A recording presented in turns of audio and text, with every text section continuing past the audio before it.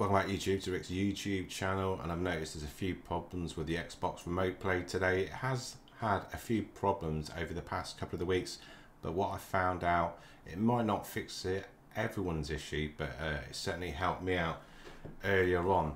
Uh, so if you go on your mobile device doesn't matter whether you're on Android or you're on uh, iPhone and then go over to your app. Let's just put my screen actually on the the video now. So I'm going to press and hold the Xbox app and then go into app info.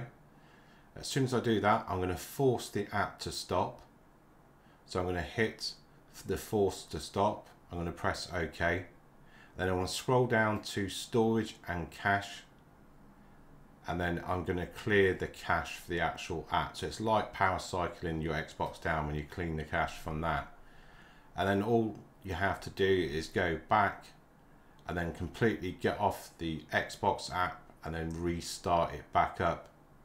It'll start back up, it clean the cache, then try and connect to remote play and see if that helps. Let me know in the comment section if it works for you. If not, I'll try and figure out another way, but uh, be sure to leave a like, subscribe, and I'll get back to you with another video. Thanks for watching.